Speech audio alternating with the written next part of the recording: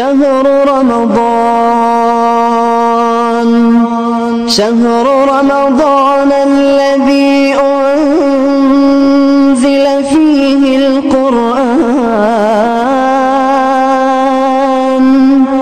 هدى للناس وبينات من الهدى.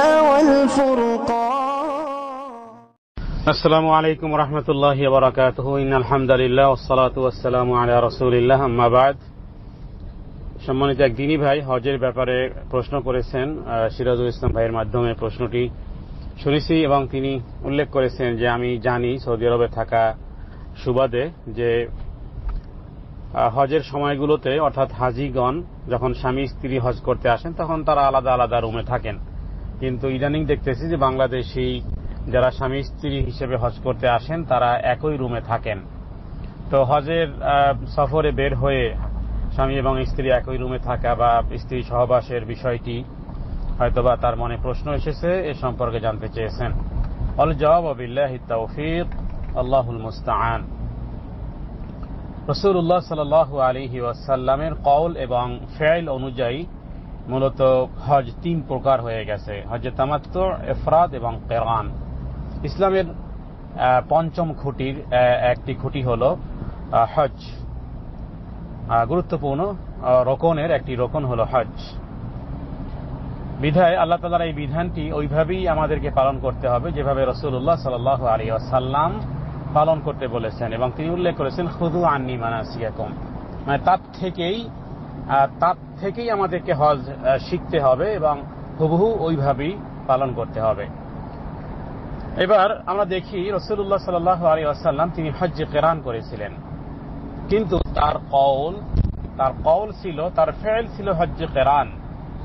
কিন্তু তার কৌল ছিল, তার বাক্য ছিল, তার তার আশা আশা ছিল যে হজ্জে তামাত্তুর ব্যাপারে তার আগ্রহ প্রকাশ ছিল, বিধায় হজ্জে তামাত্তুর। তো রসুল্লাহ সাল আলী ওয়াসাল্লামের কল এবং ফেল অনুযায়ী মূলত হজ তিন প্রকার।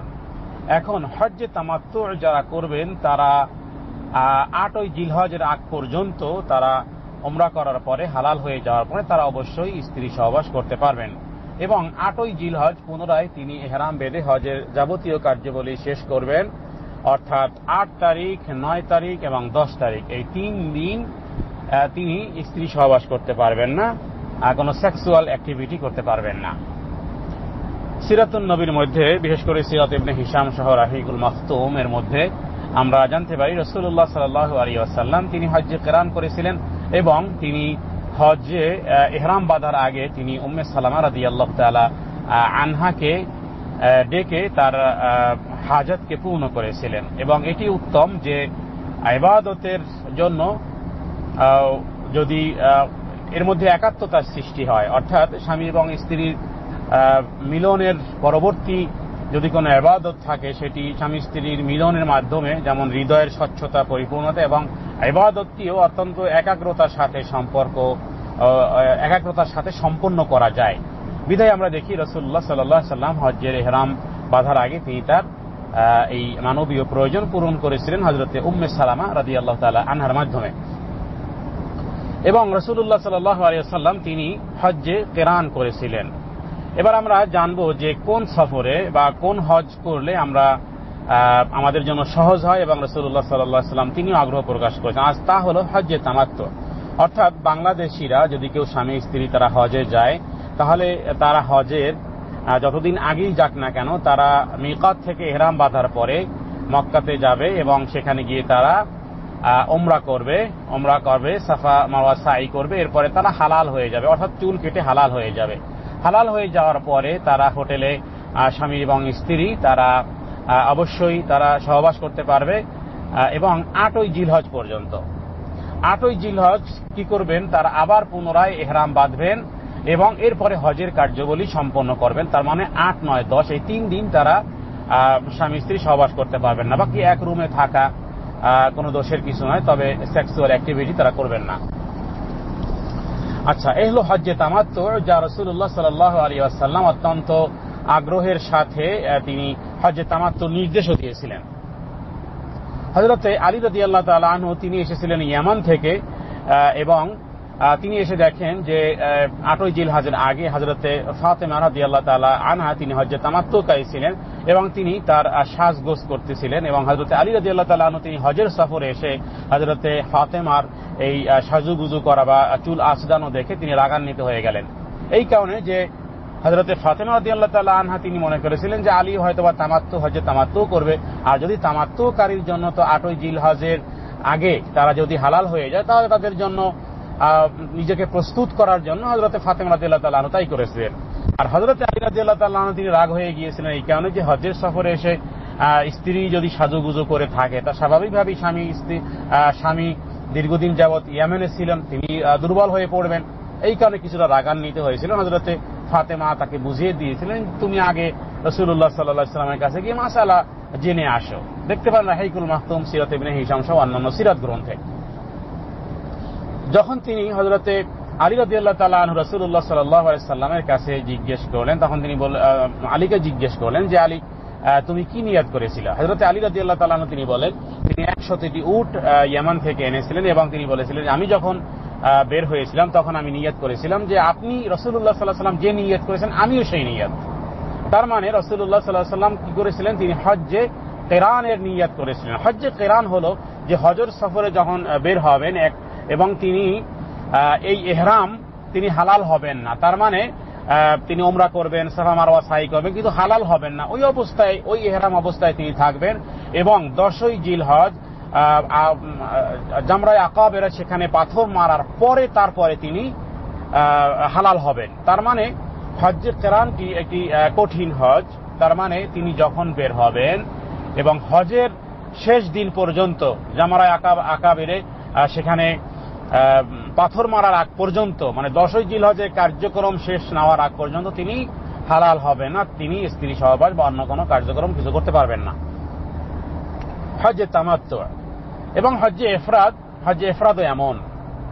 মূলত আহ, আহলুল এলেমগণ আহ, ইমামগণ তারা কোরআনুল কারিমের বিভিন্ন আয়াত থেকে বিভিন্ন কেউ বলেছেন হজ্জে তামাত্তু উত্তম কেউ বলেছেন হজ্জে কোরআন উত্তম ইমাম আবু হানিফা হজ্জে কোরআনকে উত্তম বলেছেন। যেহেতু রসুল্লাহ সাল্লাহ সাল্লাম তিনি হজ, হজ্জে কোরআন করেছেন অন্যান্য ইমামগণ হজ্জে তামাত্তু উল্লেখ করেছেন, এই কারণে যেহেতু রসুল্লাহ সাল্লাহ সাল্লামের আগ্রহ ছিল হজ্জে তামাত্তু। যেহেতু তার সাথে হাদি ছিল, এবং এই কারণে তিনি বলেছিলেন যে আমার সাথে যদি হাদি না থাকতো, জানোয়ার না থাকতো, তাহলে আমি হজ্জে তামাত্তুই করতাম। তাহলে হজ্জে তামাত্তুর ব্যাখ্যা হলো যে হজের সফরে বের হয়ে কাবা ঘরে এসে তিনি ওমরা করবেন, সাফা মারওয়া সাই করবেন এবারে মাথার চুল মুন্ডন করে বা ছোট করে হালাল হয়ে যাবেন, এরপরে তার জন্য সবকিছু বৈধ। এরপরে পুনরায় তিনি আটই জিল হজ বাঁধবেন এহরাম বাঁধবেন এরপরে বাকি হজের কার্যাবলী পূর্ণ করবেন। এটা হলো হজ্জে তামাত্ম। আর হজ্জে এফরাদ হলো যে তিনি হজের সফরে আসবেন এবং হজের সফরে শুধুমাত্র হজেই নিয়াত করবেন। এবং ইমাম মালিক এ প্রসঙ্গে ক্রনুল কাইমের যেখানে বলা হয়েছে মানিস্তাতা ইলাইহি সাবিল ফামান হাজ্জাল বাইতা শুধুমাত্র এই আয়াতটি আহ, উল্লেখ করে বলছেন হজের সফরে হজই হবে। অন্য অন্য ইমামগণ তারা ওয়াতিমুল হাজ্জা ওয়াল উমরাত লিল্লাহ, এই আয়াতে যে হজ এবং ওমরা একই সাথে। তো যাই হোক হজ্জে এফরাদের মধ্যে তিনি কি করবেন? তিনি এহরাম করা, এহরাম বাঁধার পরে তিনি যখন সাফা মারওয়া সাই করবেন, তিনি হালাল হবেন না। এবং এখানে এই হজের মধ্যে তিনি ওমরার নিয়াত করবেন। তার মানে একই একই সফরে বা একই এহরামে তিনি হজ এবং ওমরা মানে তার মূল উদ্দেশ্য থাকবে হজই। এই ক্ষেত্রে তিনি ওমরারও নিয়াত করে নিতে পারেন। কিন্তু তিনি হালাল হবেন না। এবং এমন হজ আদায়কারী, এফরাদ হজ আদায়কারী বা কেরান হজ আদায়কারী তারা স্ত্রী সহবাস করতে পারবেন না। কিন্তু আমাদের বাংলাদেশ থেকে যারা আসেন, তারা হজের তামাত্তুই করেন। তার মানে হয়তো অনেকে পনেরো দিন আগে আসেন, বিশ দিন আগে আসেন, এবং তারা যখনই আসেন, তারা ওমরা করেন। ওমরা করার পরে তারা হালাল হন। হালাল হওয়ার পরে তারা স্বাভাবিকভাবেই তারা স্বাভাবিক কাপড় চোপড় পরবেন এবং স্ত্রী সহবাসও করতে পারবেন। আটই জিল হজ তারা পুনরায় এরাম বেঁধে হজের কার্যবলী শেষ করবেন। তাহলে এই ছিল হজ্জে তামাত্তর উপকারিতা। আর বেশিরভাগ বাংলাদেশি হজে তামাত্তই করেন, সুতরাং অবশ্যই তারা একই একই রুমে তারা থাকতে পারবেন এবং এই দিনগুলো ব্যতীত, অর্থাৎ আটই জিল হজ থেকে নিয়ে দশই জিল হজ এই তিন দিন তারা শুধুমাত্র ওই স্ত্রী সহবাস থেকে বা তাদের স্বামী স্ত্রীর গোপন ভালোবাসার স্পর্শ থেকে তারা একটু দূরে থাকবেন বাকি এক রুমে থাকার ক্ষেত্রে কোনো দোষ, দোষের কিছুই নেই। কিন্তু যদি হজ্জে এফরাদকারী হন অথবা হজ্জে কেরানকারী হন, তাহলে তারা এক রুমে থাকতে পারবেন, কিন্তু তারা হজের দিন শেষ হওয়ার আগ পর্যন্ত তারা একে অপরকে এই বৈধ কামনাগুলো তারা আদায় করতে পারবেন না। তো আরও কিছু কথা আছে অবশ্য এই হজ্জে তামাত্তু হজ্জে কেরান এবং হজ্জে এফরাদের ক্ষেত্রে। বিভিন্ন ইমামগণ বিভিন্ন হজকে উত্তম বলেছেন, তবে হজ্জে তামাত্তু আহ, আমরা বলতে পারি রসুল্লাহ সাল্লাহ সাল্লামের কওল অনুযায়ী এবং ইবনে অমর রাদিয়াল্লাহু তাআলা আনহুর কওল অনুযায়ী তারা হজ্জে তামাত্তুকে উত্তম বলেছেন। এটি আমাদের এটি সহজলভ্য কঠিন কিছুই নয়। তো এই ছিল ভাইয়ের প্রশ্ন যে বাংলাদেশ থেকে যদি স্বামী স্ত্রী তারা আসে তাহলে অবশ্যই তারা এই সময়টুকু শুধু হেফাজত করে বাকি সময় তারা এক রুমে থাকা বা তারা স্ত্রী সহবাস করতে পারবেন, কোনো অসুবিধা নেই। হজ্জে তামাত্মকারীর জন্য। আর হজ্জে এফরাতকারী অথবা হজ্জে কেরান তারা করতে পারবেন না, কারণ তারা হজের সফরে এহরাম বাঁধার পর থেকে শুরু করে, যদি এক মাস আগেও তারা আসেন তারা শেষ দিন পর্যন্ত অর্থাৎ পাথর মারার জিলহজ মাসের দশ তারিখ পর্যন্ত তারা এই কাজগুলো করতে পারবেন না। এফরাদ হজ আদায়কারী এবং কেরান হজ আদায়কারী। বাকি তামাত্ম হজ আদায়কারী ব্যাপারে আমরা কয়েকবারই আলোচনা করলাম। আশা করি উত্তর পেয়েছেন। জাজাক আল্লাহ বারাক আল্লাহ ফিক। আসসালামু আলাইকুম রহমতুল্লাহ।